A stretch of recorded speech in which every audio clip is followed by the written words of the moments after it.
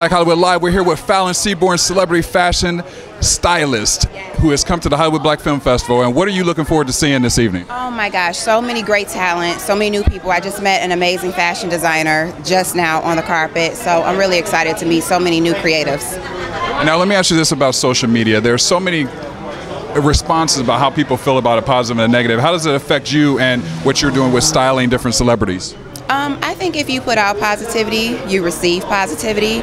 And I use all my social networks for that reason and business, so that's what I get back. Yeah. Well, could you give us a quick little shout out your name and just say you're watching Black Hollywood Live for the camera? Yes, my name is fashion stylist Fallon Seaborn, and you are watching Black Hollywood Live.